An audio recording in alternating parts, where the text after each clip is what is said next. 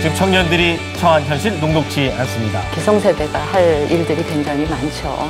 청년을 어떻게 바라보는가의 차이에 있다라고 청년 경제라고 할 때는 어떻게 일해야 재밌냐.